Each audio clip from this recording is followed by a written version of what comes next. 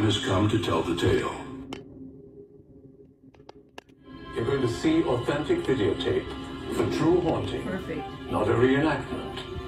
And during the course of this program, you'll meet some fascinating people who claim to have come face to face with ghosts.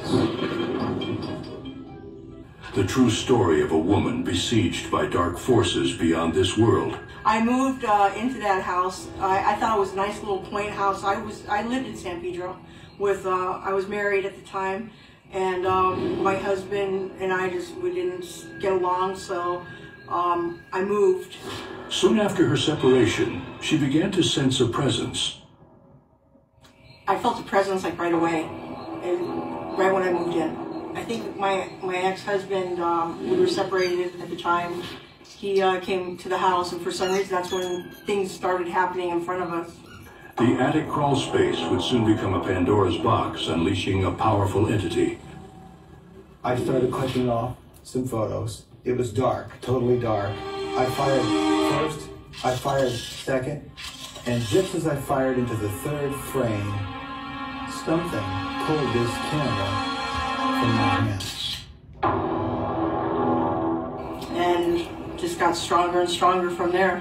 When the balls of light were on the ceiling, it was very frightening. I was, had just woken up from a night's sleep and I looked up on the ceiling and there were these lights flying around.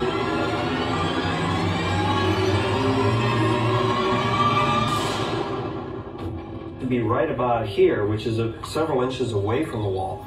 Therefore, these might be away from the wall. If that's true, there should be some light that's being reflected against the wall, but there's not. Extremely unusual. I can't explain it.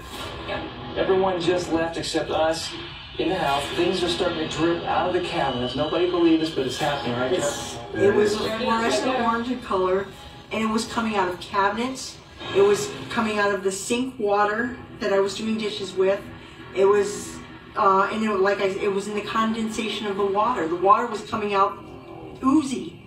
From enigmatic balls of light to human blood plasma dripping from the house's walls, the entity seemed to intensify its actions.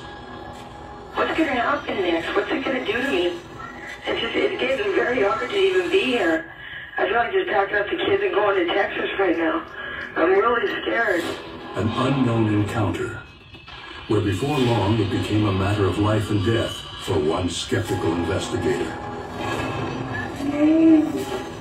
What's wrong? What happened?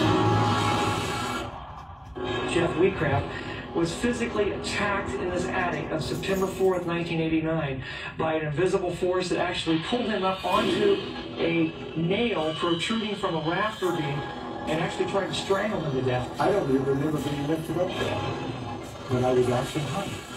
I was hung in an attic. Jeff, here you go. Here you go. Shoot? Are you okay, buddy? An unknown encounter. A true account of the San Pedro haunting, hosted by Ferdy Main. Perhaps the most terrifying ghost story ever documented on live video. All the more scarier because it's true.